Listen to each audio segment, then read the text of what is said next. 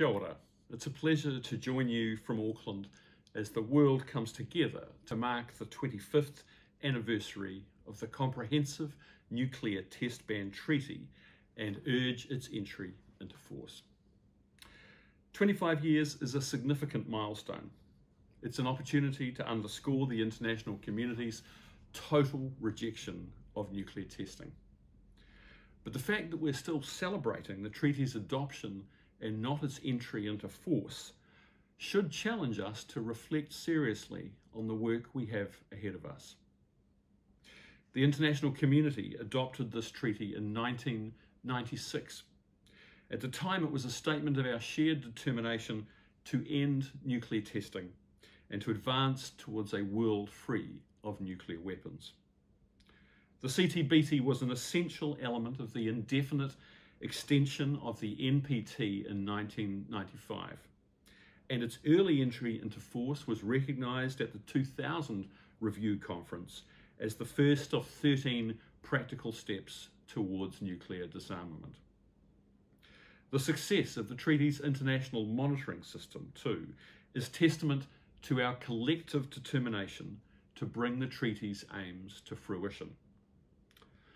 But 25 years after the treaty was adopted, we are still discussing how we could achieve entry into force.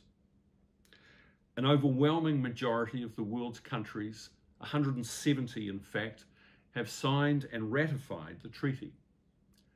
The trouble is that the eight of those countries that the world needs to sign and ratify have not.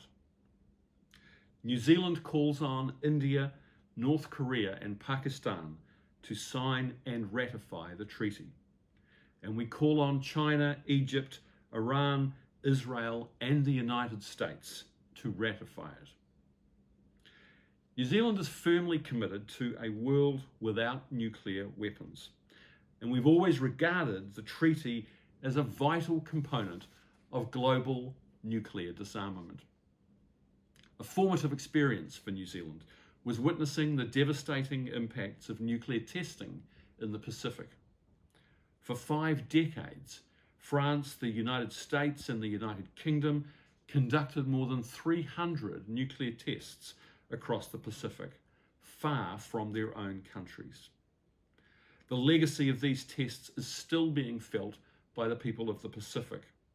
The tests forcibly removed them from their lands, dislocated their communities, and poisoned their ecosystems.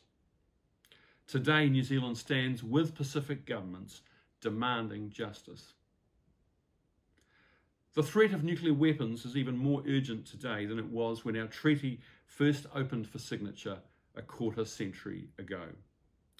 In advance of the 50th anniversary NPT review conference early next year, New Zealand calls on those eight holdout states to ratify with urgency and to join the people of the rest of the world on the right side of history. Thank you.